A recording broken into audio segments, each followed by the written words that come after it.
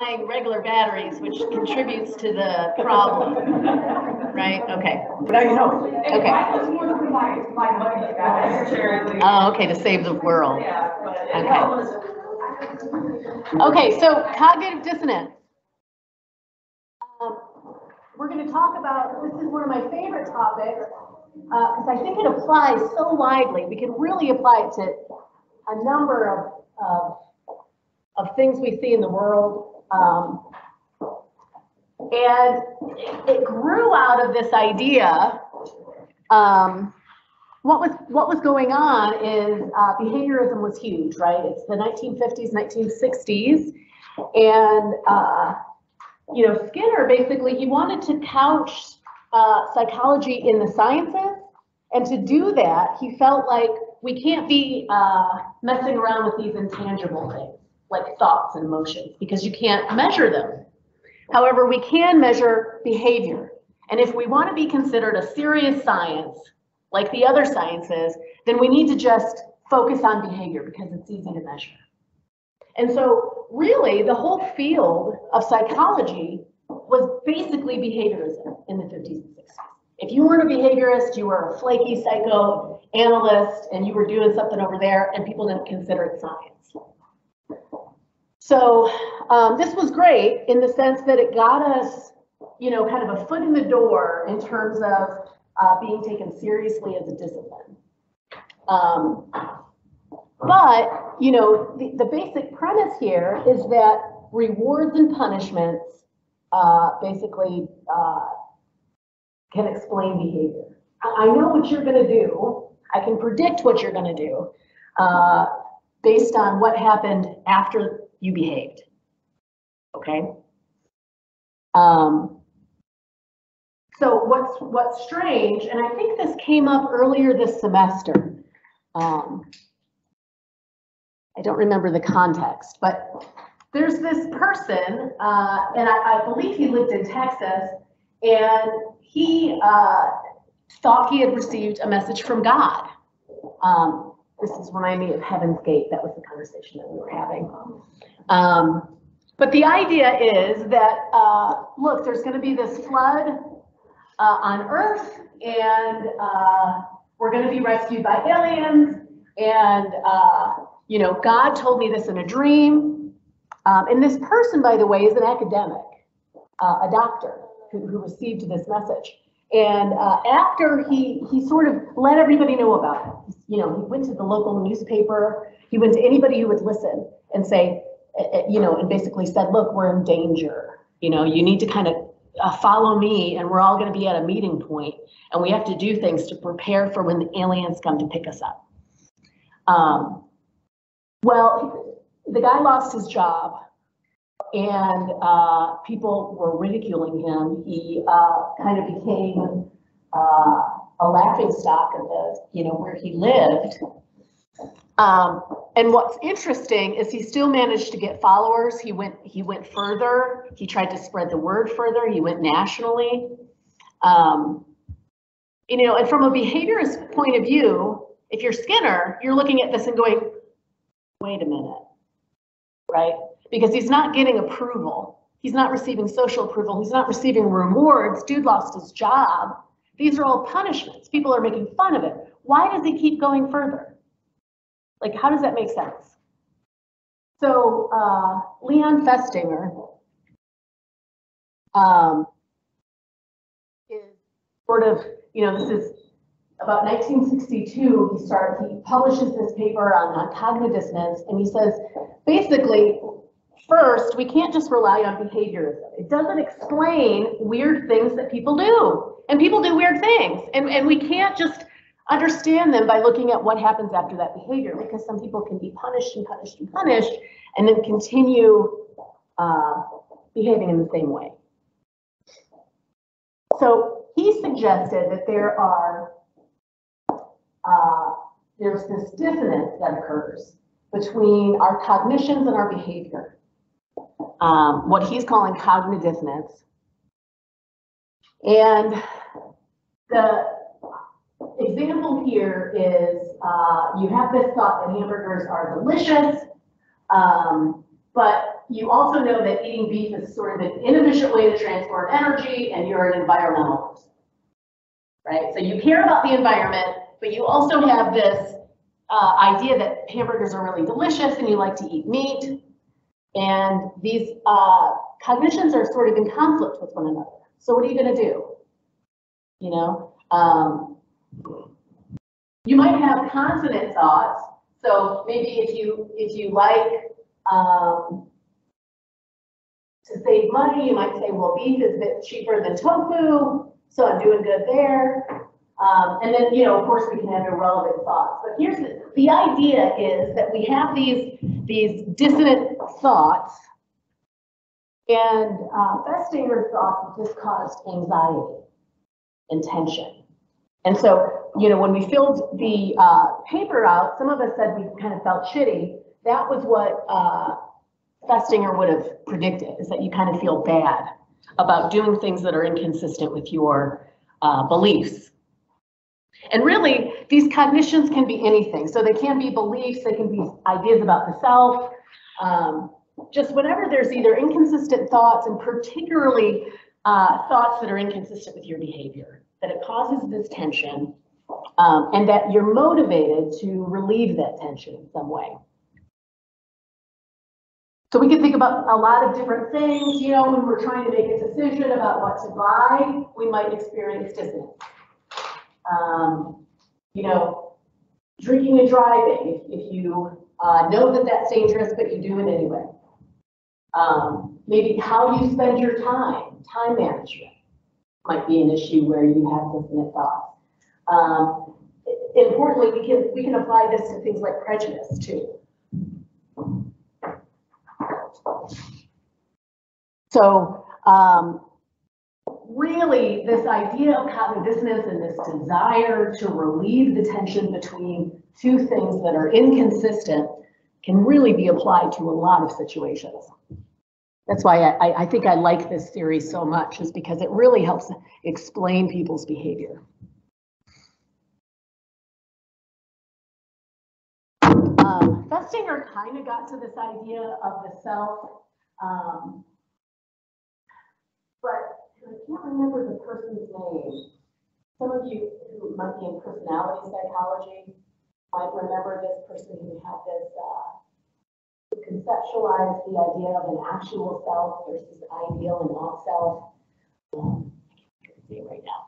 But we can use cognitive dissonance to also understand um, how dissonant uh, thoughts come out of our ideals about ourselves. And so we have this ideal self of somebody we want to be in the world, and we have an ought self that's really influenced by our social relationships, usually. Um, although the ought self can also be determined by stuff like media. You know, so you might look at uh, a picture of a gorgeous uh, human being and you go, oh, I want to look like that human being. I want to gain weight or lose weight or change my hair. Um, but the ought self, oftentimes, you know, this is kind of thought like the super ego or like your parents or uh, important relationships in your life, people telling you, you ought to do this, you ought to do that. So whenever there's a discrepancy between who we are and who we think we ought to be, we also experience this cognitive dissonance, this, this tension um, that again, we have to relieve in some way. Um, some people take cognitive dissonance so far as to say that this is really the root of mental illness, are these discrepancies between who we see ourselves as uh, and who we, who we uh, actually are. The theory suggests that we're going to uh, have the most discomfort whenever there's a large number of dissonant beliefs.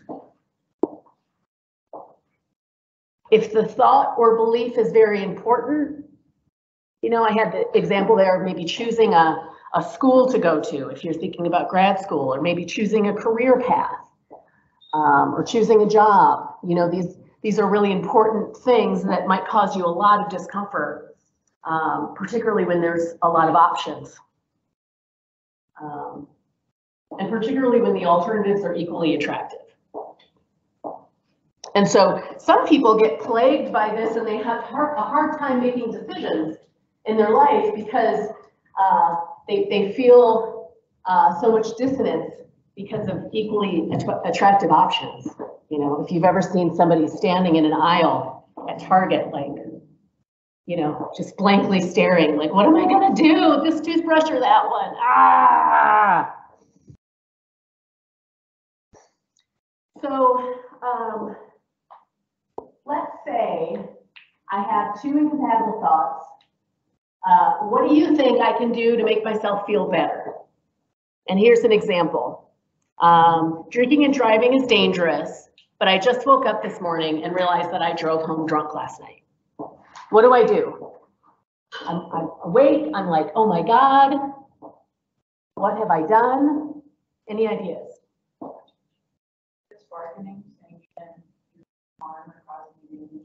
Good. So I can like minimize the neg, I can say, hey, look at the bright side. Nothing bad happened. No big deal. I can kind of decrease the importance of that idea, of the belief that I can't drive drunk because, hey, look, I did and it was fine.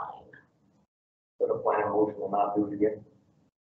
Good. So I can actually make a plan, say, I'm not going anywhere without my, I'd say twenty dollars for a cab, but maybe make sure I have my, my phone and the Uber or Lyft or whatever. What else?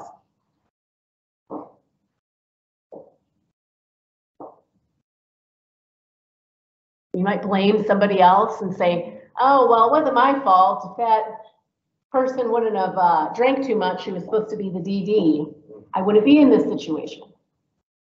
So we, we do have some, uh, some options. The most obvious one is change the behavior. Of course, that's usually the hardest, right? You know, thinking about environmental behaviors, um, you know, eating behaviors, all these kind of things.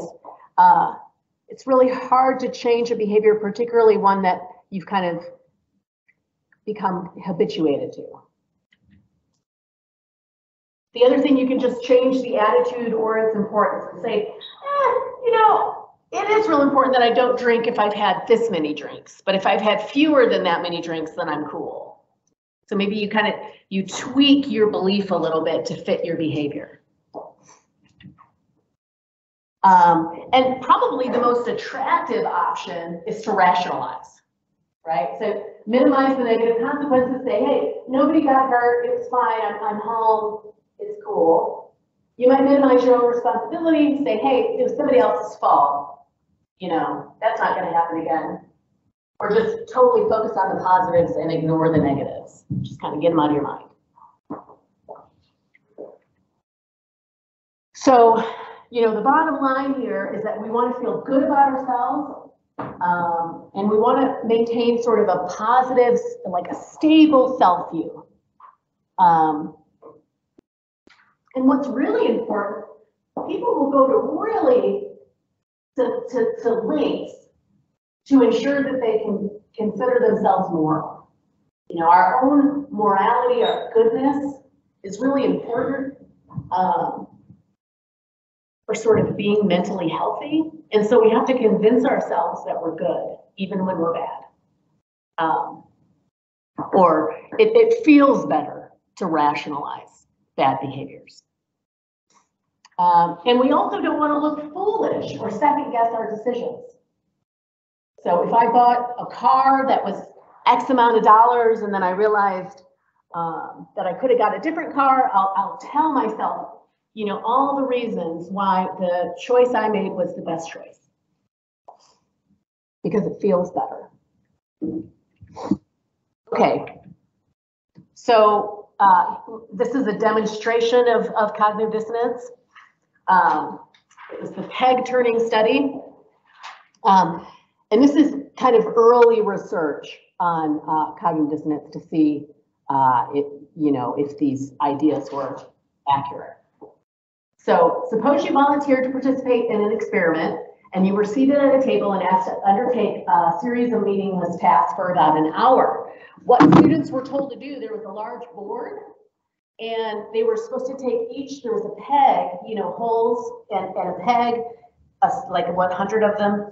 And you're supposed to take the little glue thing and then like turn it so it faced a different way. And you do that for like an hour and you're just turning pegs. Um, so it's real boring. Uh, afterwards, the experimenter says, you know, do you mind telling everybody, um, that you, you know, meet in the hallway, that it was really interesting and worthwhile? You know, please advertise our study to other folks and let them know you had a lot of fun. Um, you were paid either a dollar or twenty dollars to do this. And then you're asked privately to rate your enjoyment of the task on the questionnaire. So after which amount, one or twenty, do you believe your actual enjoyment rate would be higher? Okay, so I'm gonna ask you to, uh, talk with your group for just a moment and, uh, see, see what y'all think. Try to come to a, a consensus.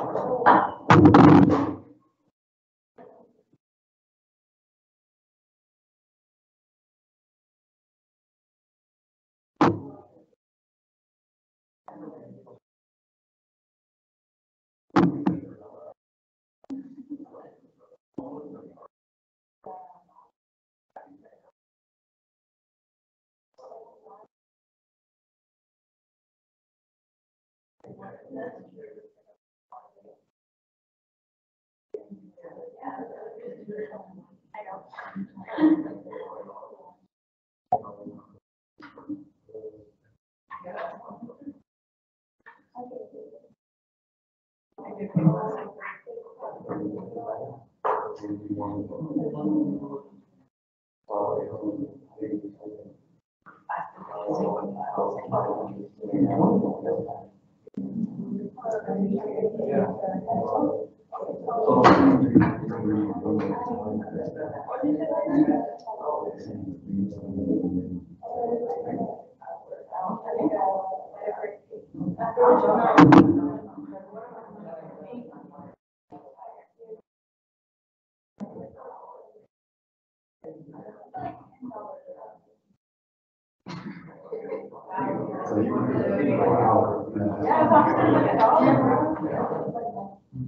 like one?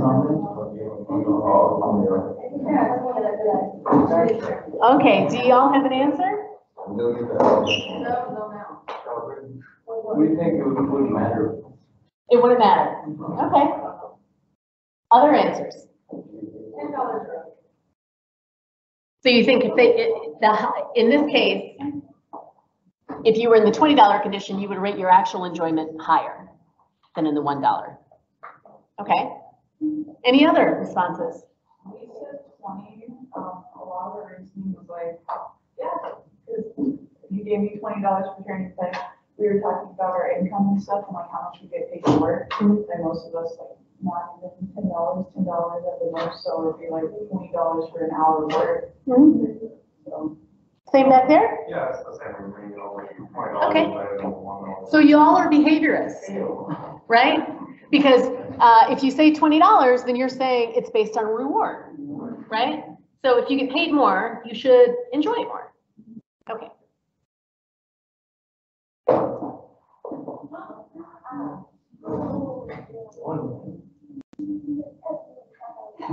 This is on a, a negative two to positive two scale.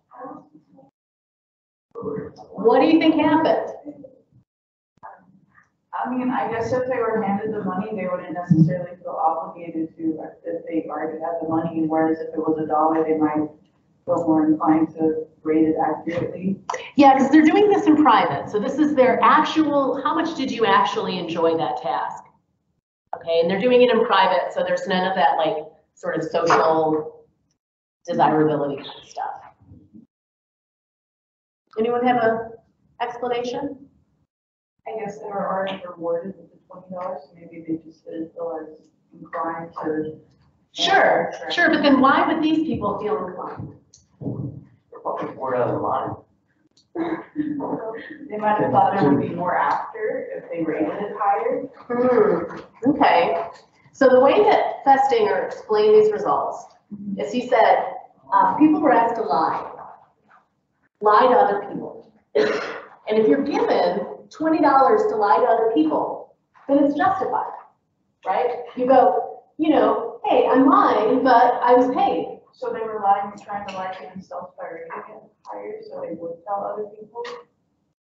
Okay. Okay, so in the twenty dollar condition, they had no reason to lie on the questionnaire and say, I enjoyed it. They're getting paid to do the lie. In this condition, however, there's not enough justification for them to lie to other folks about the enjoyment. So in order to justify that wrongdoing, they say, I actually liked it. Yeah. So rather than feel bad about lying, they said, hey, it was kind of enjoyable. Because they only got paid one dollar. So, yeah, this is a little bit different. Let's, let's try it, uh, one more time. This is another study. It's called fried grasshoppers.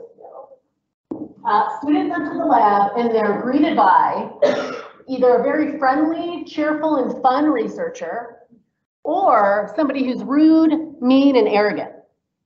And the researcher says, hey, uh, I need you to eat this fried grasshopper. By the way, this isn't like a freshly fried grasshopper. It's like, you know, they had it in the fridge overnight. I mean, it's cold, it's fried. I mean, maybe if it was hot, you'd be like, oh, you have some ketchup? But no, it was like, I don't know, something to dip it in. Uh, But no, it was gross. Uh, afterwards, they're asked to rate their enjoyment of the grasshopper. Okay? Which group of students liked the grasshopper more? Those in the mean condition or the nice condition?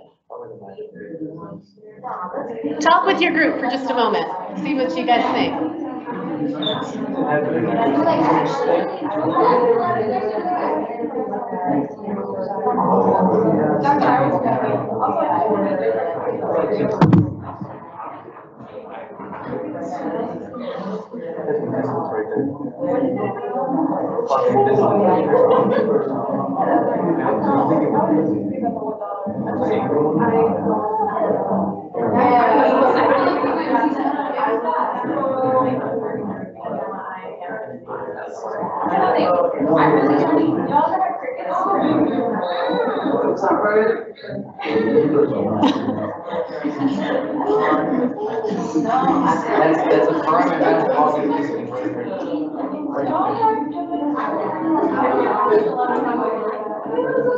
I went to a fancy restaurant once and crickets were on the salad.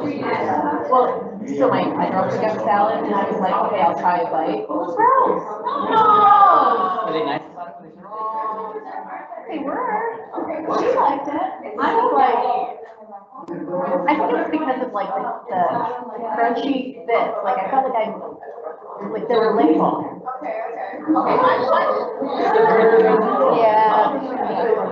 I mean, I, I could see people liking it, so I don't, I don't think there's anything strange. I think it was in my head, just thinking about insect flakes.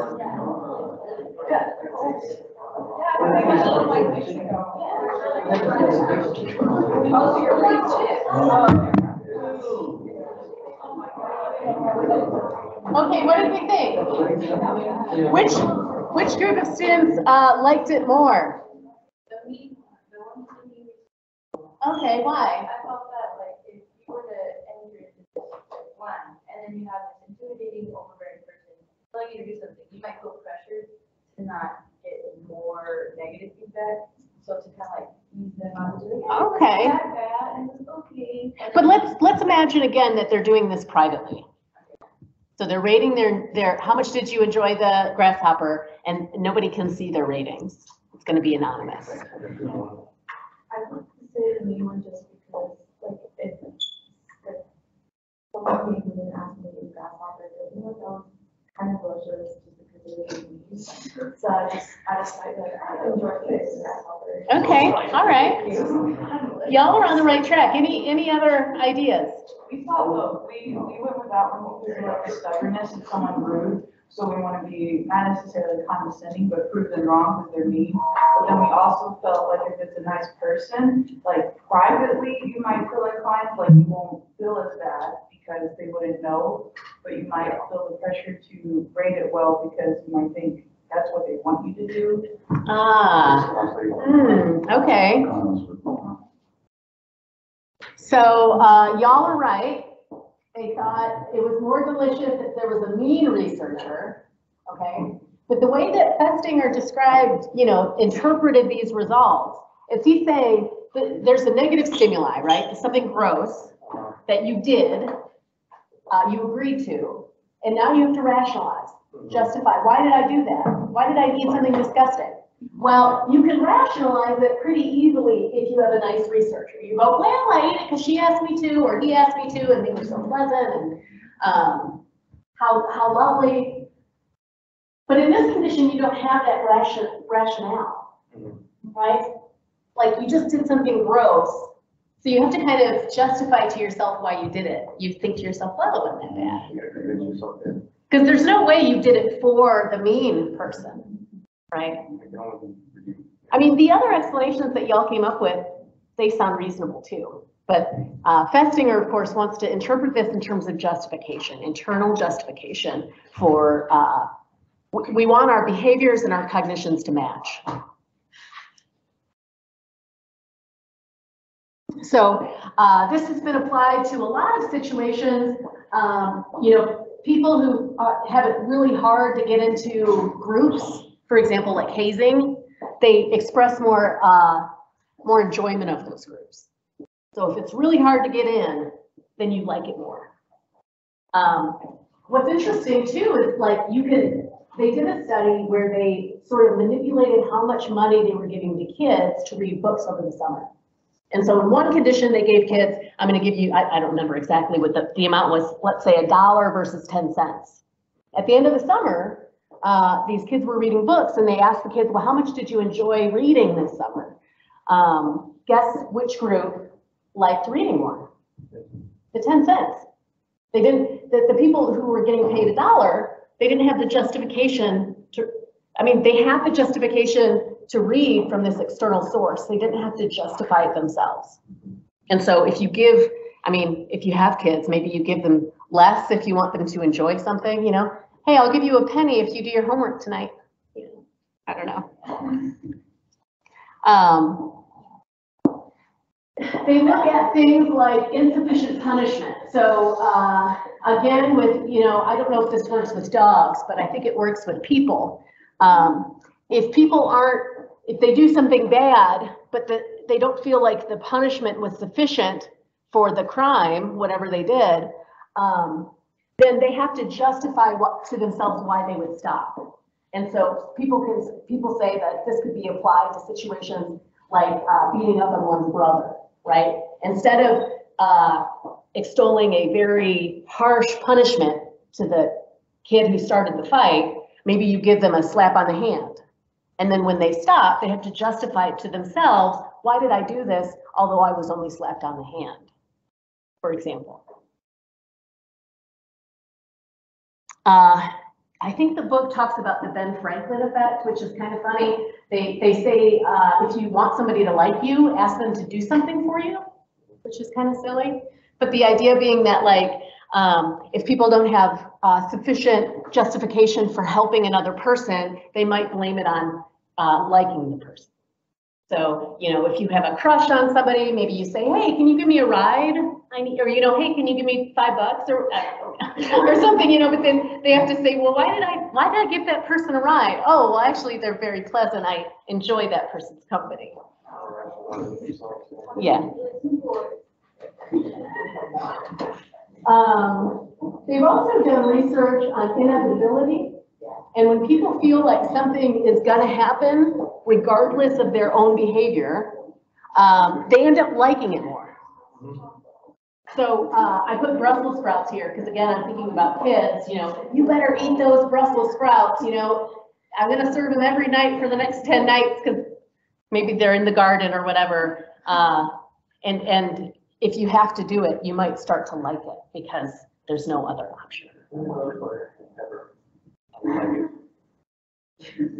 Uh, there's been a lot of research on decisions that people make. And, uh, it turns out that once people make a decision, they tend to like whatever decision they made better than the alternatives. And again, this has to do with that rationalization. You have to tell yourself, why did I make this choice versus the other one? And they've done this in the lab by asking people to, uh, rate how much something costs um, before or after they're, they're asked to make a choice. So they come into the, the lab and there's a bunch of items on the, uh, on the desk and they, uh, they say, you can take one of these items home, decide which one you'd like, you know, so it's mugs and, you know, whatever, blenders, toasters. Um, and they're either asked to rate how much they think that thing is worth before or after, and they realize that, uh, what they see is that people rate it higher if they've made the choice. So a blender that you might, if you didn't choose it, you say, oh, that's ten dollars. After you choose it, you go, oh, that was fifteen for sure. You increase the value in your head. Um, it's the same with like, if you ever go to a garage sale, you know, people feel like, you know, you see those high prices. It's like, well, because I chose that. I chose that item, so it's worth a lot more in my eyes. Um, we can also apply this to the idea that we, you know, seek out information that maintains our own beliefs and attitudes. Again, because we want to feel like we're smart, uh, that we make, you know, we make good choices. Um, and so it, it makes sense that we would sort of try to limit the amount of information that uh, is inconsistent with our beliefs.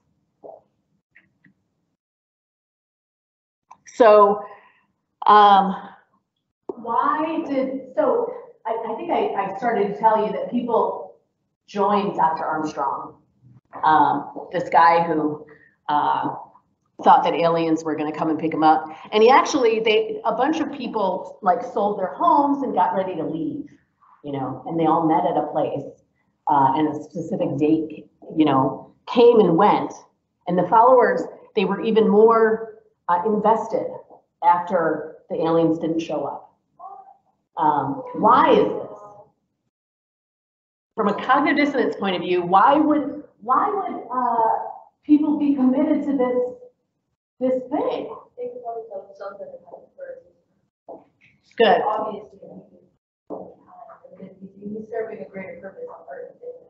right, good, They don't want to be proven wrong because they would feel bad or feel stupid. right, yes. So it's, it's, it's that self-image, that self-concept. We don't want to look stupid. We don't want to look immoral. We want to feel good about ourselves. And to do that, sometimes that means we have to double down on things that, uh, on our beliefs and our attitudes. Um, and so the same is, is true of, you know, we, we can really think about cult behavior or, you know, group behavior when you see groups doing really crazy things. It's it- partly it's because it's really hard to to, to uh, sort of fess up to yourself cognitively and say, you know, I made a mistake. Uh, particularly once you invest. So people who sold their homes, people who gave away their things, uh, there's even more reason to sort of double down.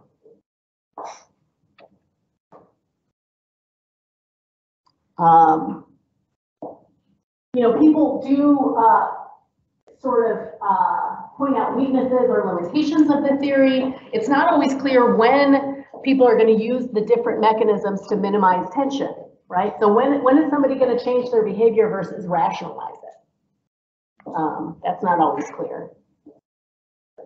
Um, uh, some. In a minute, you can put this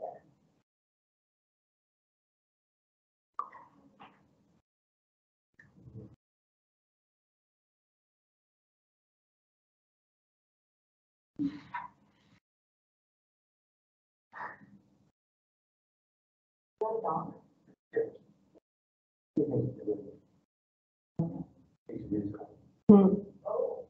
Um, okay, so it is two forty-five. We have thirty minutes. Uh, I guess I can start talking about, um,